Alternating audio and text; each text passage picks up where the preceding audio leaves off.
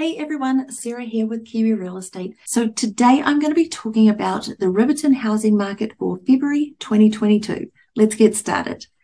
So this first slide here is a daily snapshot. Now I put it side by side with January 2022 and February 2022, just so you can see a little bit of a comparison as to the different months and if there's any changes.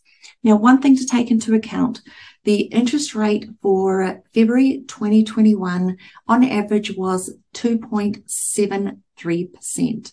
And the average interest rate for, for February 2022 was 3.55%.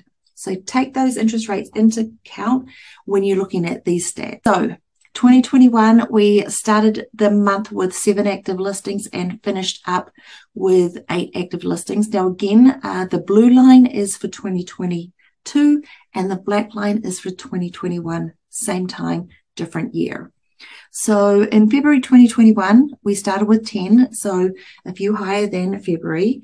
And we had a lot of, a lot of, as you can see, the uh, peaks and the drops and the zigzags and whatnot. And while it's only one or two houses, it does make for an interesting um, little graph here compared to January, where blue stayed on top and black stayed on bottom. We had a lot of crossovers in the month of February, and we ended up with 2021 higher than 2022 only by two houses, but still it was higher in 2021. Now here we have the under contract properties. Now, as you can see, January and February have completely flipped. You have got 2021, uh, tw- sorry, 2022 above uh, quite considerably in January. And then in February, we have 2021 considerably above 2022. Now, like I said in my last video, we have had a lot of new builds going on. So this will indicate that there are a lot of the new listings have uh, been activated and gone under contract. Now, again, they can stay under contract for a long period of time, especially for new builds, but it is good to see um, that there's still a lot of activity. There's a lot of houses on the market. There's a lot of properties going under contract. Even though it's a little bit less than the previous year, it's still a really good market.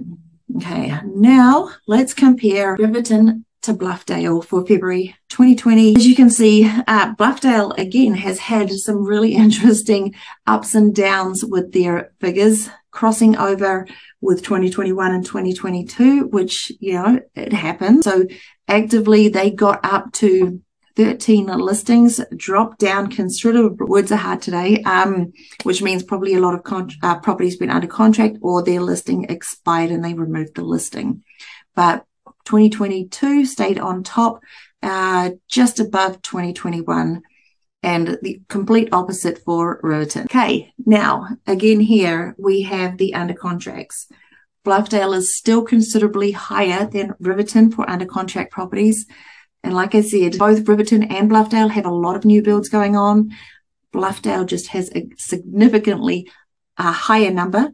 So that is why their under contract is sitting just below 175 and Riverton is, well, it started just, uh, just under 95 and it ended up, let's see here, um, between 70 and 75. So still really good numbers to see. Now, these are the average days on market. So we have January and we have February. The days on market still fairly, fairly close, 29 to 22. So that means they've shortened up the time frame from going under contract and sold.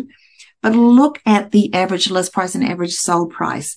They have jumped up over a hundred thousand dollars, which is incredible. So yeah, proud, houses have increased in value. People are paying more for the property, like list price to sold price, still fairly close, $10,000 or just over $10,000, uh, as opposed to just under $2,000. But look at the number of sales in February for Riverton. January 29, February, we had 46, which is fantastic. So yeah, that's the housing market for uh, February 2022, comparing uh, some of the Riverton to Bluffdale, as well as Riverton January to February. Yeah. If you have any questions, don't hesitate to reach out. Now, again, we are a husband and wife team. Uh, I'm Sarah. My husband is Ken. Uh, we do all sorts of stuff together. We're very involved in our community as well. We do Serving Utah Heroes, which is an amazing program that allows us to give back thousands when we help heroes buy, sell, or refinance their home. There's our email address, but all of our other contact details are below this video if you need to reach out. Have a fantastic day and I'll speak to you soon. Bye.